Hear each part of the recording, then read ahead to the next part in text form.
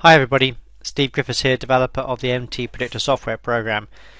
In today's video I'd like to take a quick look at the Russell Index, uh, in particular on a 3 minute chart of the Russell Index for yesterday which was Monday, December the 19th. So this is Monday, December the 19th. I'd like to just look at this as a standard MT Predictor trader would uh, would view this, so without any advanced analysis and uh, this means basically using the STF color which is our indicator at the bottom here. This is really easy. This basically gives the larger degree trend on the chart you're uh, following. And so for this three minute trend sorry this three minute chart uh, if the STF is blue the larger degree trend is up. If the, F if the STF is black the larger degree trend is flat. If the STF is red, the larger degree trend is down. So quite simply, for a standard trader, these are people who first come to MT Predictor and uh, want to start trading right out of the out of the box, so to speak. we suggest that you filter the trades so you follow the trades that are in the direction of the STF color. Uh, we do uh, override this for advanced traders, and that's what we go into with our advanced training uh, three times a week in the uh, in our training trading webinars, where we use the the 15 minute chart with our DPs and WPTs to get a uh, an earlier uh, indication of the large degree trend. But for new traders, we keep it simple, and basically you look at the STF color and go in the direction of that. So as you can see, there were no trade setups here early in the day. So if I zoom in, we had one sell setup here. Now this was with a red STF, so it was a good trade setup to take. Uh, but also I want to mention this one here, which was a history triangle. Uh, in MT Predictor, any trade that, um, if I put the analysis on, I'll show you what I mean here. Any trade that uh, would have been um, signaled at the time would have been filled, and then the market would have stopped you out. We actually uh, label with what we call a history triangle. So if I take this off, the history triangles appear as little, as they say, little triangles in history. So it means that you can always see every potential trade setup that would have been filled on the chart as you look at it. In other words, we don't hide anything. But as you can see, this one was a buy setup, but it was against our red STF, so therefore it had been avoided. So for yesterday, on the Russell Index, there would only been one uh, set up and that would have been this one here.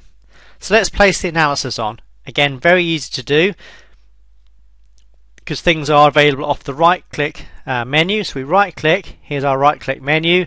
We select automatic setup including RR. So we click on that, then we click on the correctly colored reversal bar.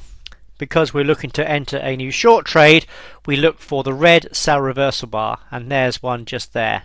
So we click on that, that places our WPT resistance areas on in this case. Also place our targets on here, which are our targets down here. We also have our position sizing. Remember we use the correct position sizing to vary the number of contracts or lots or shares depending on what you're trading to keep our initial risk at a small uh, and constant value. That's the trick in being able to have a constant and similar risk across all your trade setups and that's the only true way to um, keep your losses small and your profits large across all your trade setups. So what this does is we look at our, uh, in this case, a sample um, account of $20,000 and we say we're only risking 2% of that. So therefore the software looks at that and says, right, for this entry price and this stop price, which we've got here, you can only trade four contracts to keep your risk under 2% of the $20,000.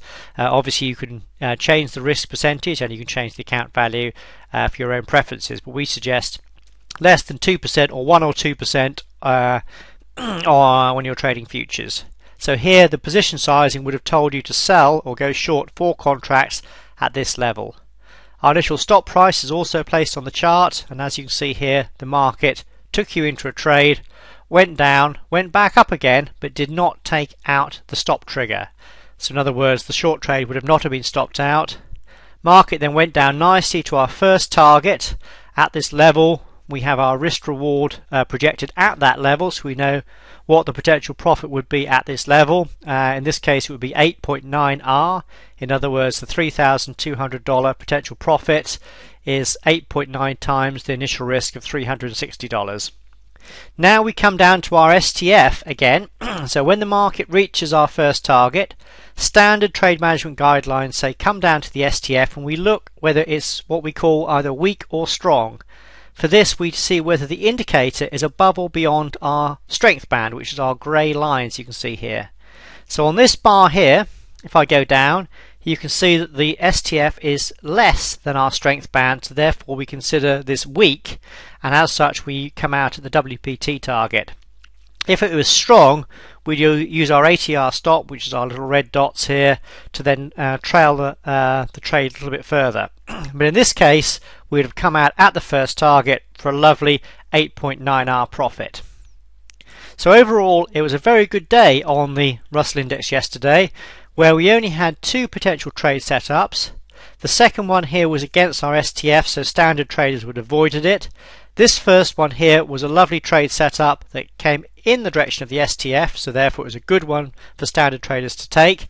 Position sizing told us how many contracts to trade, at what level, and what stop price to do. Market went down to our first target beautifully, where we had a very nice profit of what we call 8.9 risk units. In other words, the potential profit at this level was 8.9 times greater than the initial risk. And that is the key to successful trading is identifying trade setups where you enter the market with a small controlled risk and where you have profits that are much larger than the losses. So over time you truly can have trade setups where the losses are kept small and the profits are kept large.